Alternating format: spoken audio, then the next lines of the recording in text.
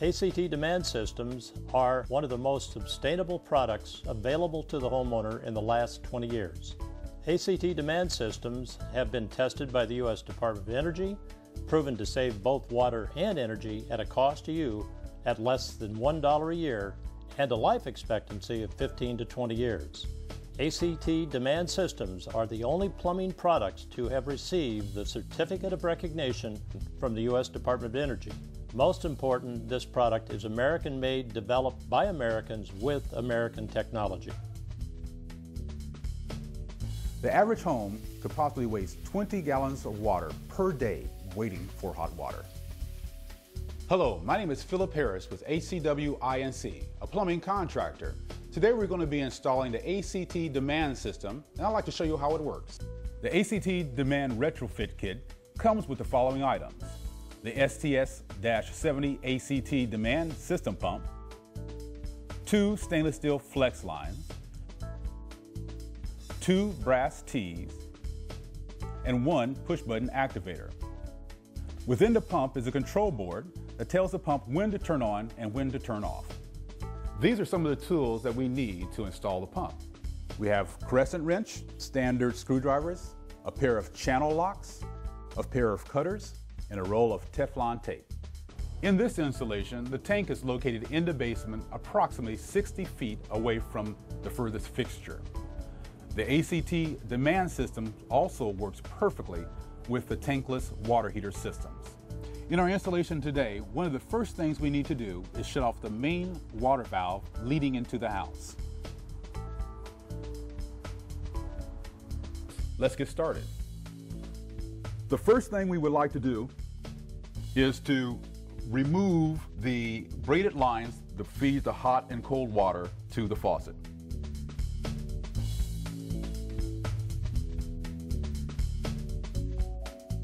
The next thing, we need to break the collar here for the angle stops, and we'll remove those.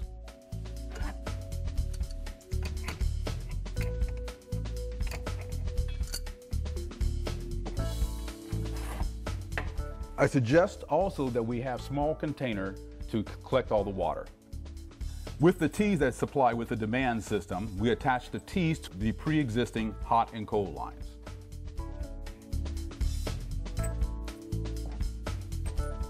What we'd like to do at this time to make sure we have secure a watertight seal is put some Teflon tape on the angle stop.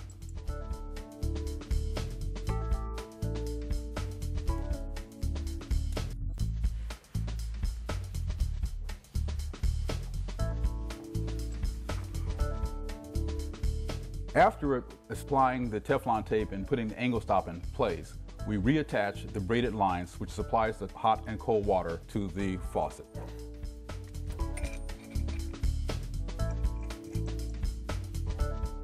After putting the angle stops on the new tees, we take our pump, put Teflon tape around the ends, and also apply our adapters from a half inch to three quarter.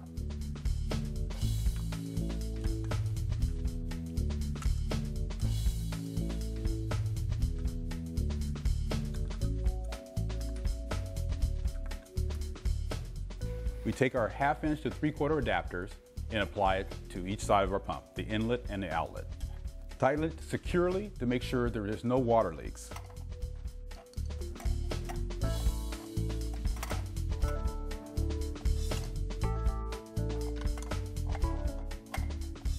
After putting the adapters on the, each side of the pump, we'll place the pump at the base of the cabinet.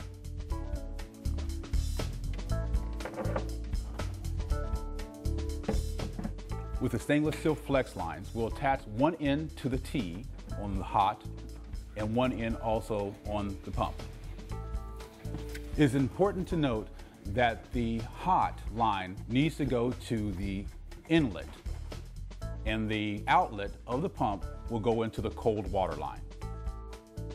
The D'MAND system comes with three cables attached to the basic unit. The gray wire has three leads, a green, red, and black which is used for the accessory buttons that may be used for the physical pump. Also, a little bit longer line, this is to be used for the activation button.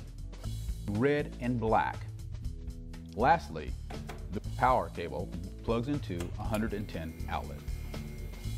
After plugging in the electrical cord into the outlet, the pump will initiate and run for a short period of time. At this time, what we're going to do is place the activation button inside of the cabinet. For this, you'll need a 5 8 drill.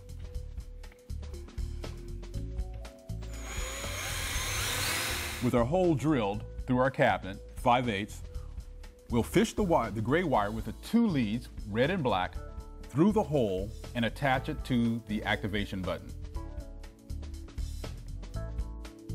Using a standard Phillips screwdriver, tighten down the leads to the physical button.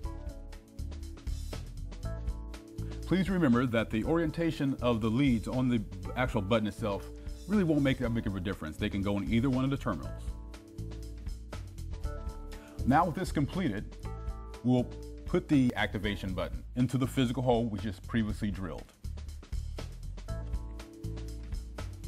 The ACT D'MAND system also comes with the receiver, as well as a wireless remote, which works up to 80 feet from the receiver. On the actual receiver itself, once again, we have three wires. We have the green, black, and the red wire. We're going to attach the same corresponding colors to the actual pump itself using the supplied wire nuts.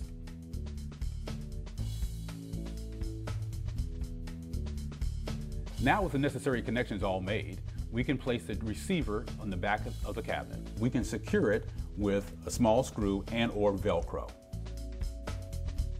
the ACT system, it also comes with the option of a wireless sensor. Two different styles. With these sensors, once you cross the beam, the pump will be activated. It's time to enjoy hot water.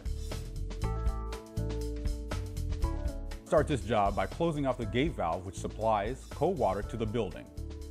With a crescent wrench, I remove the water supply tubing from the stops and then remove the stop. Then take this T-fittings, which comes with the pump, and attach it to the pipe coming from the wall.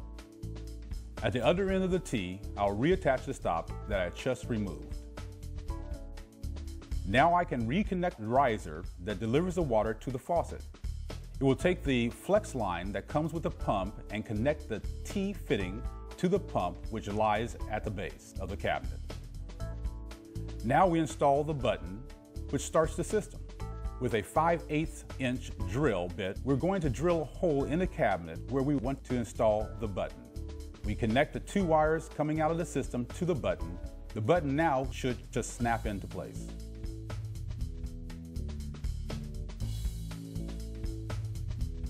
ACT D'MAND systems meet all of the national and international electric and plumbing codes, including UL Electrical, Uniform Plumbing Codes, CSA Canadian, CE International, and the Australian Watermark.